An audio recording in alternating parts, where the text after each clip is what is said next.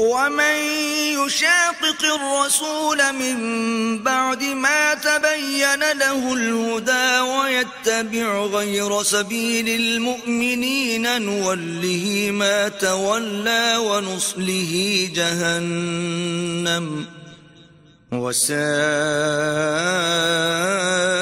مصيرا. السلام علیکم ورحمۃ اللہ وبرکاتہ الحمد للہ وحدہ والصلاة والسلام على من لا نبی بعد اما بعد. محترم ناظرین، نماز فجر جب ایک انسان پڑھنے کے لیے مسجد میں داخل ہوتا ہے، بسا اوقات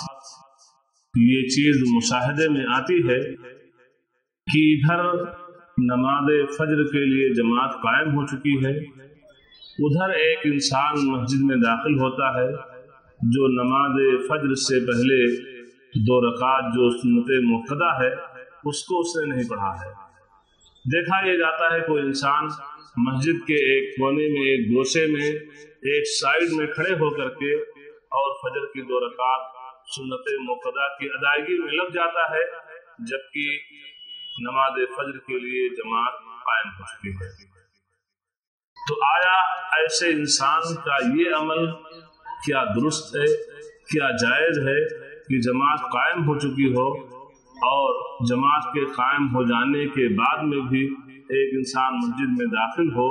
تو کیا اسے تحت المسجد یا اسی طریقے سے نماز فجر یا دیگر نمازوں سے پہلے جو سنت مقدہ ہیں، ان کی ادائیگی کر سکتا ہے کیا اس کا یہ عمل درست ہے؟ جواب یہ ہے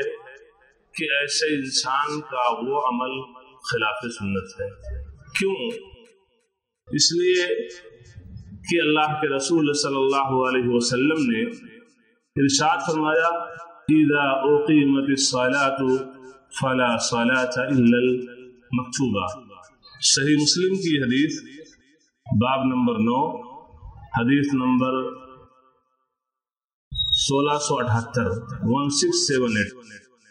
اس حدیث کے اندر اللہ کے رسول صلی اللہ علیہ وسلم نے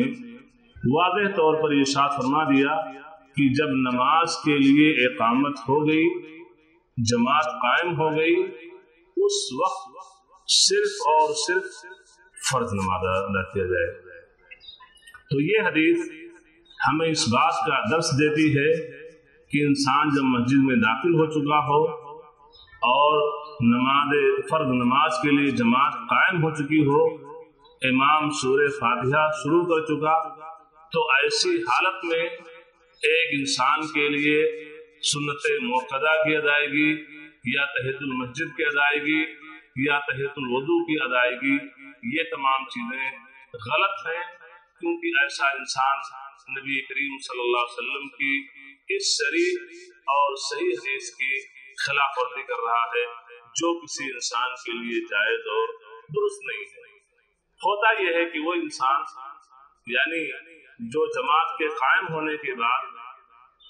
سنت مقدہ کی ادائیگی میں لگا ہوتا ہے، اتنی اسپیڈ اور رفتار سے اس کو پڑھتا ہے کہ اس میں نماز کا جو ایک رکن اطمانینہ ہے کہ نماز کا ایک رکن یہ ہے کہ نماز اطمینان و سکون کے ساتھ پڑھی جائے، تو وہ چیز مقبول ہوتی ہے۔ جلدی سے وہ رکو میں جاتا ہے رکو سے جلدی سے اٹھ جاتا ہے، سجدے میں جاتا ہے۔ اس طریقے سے بہت ہی برف رفتاری کے ساتھ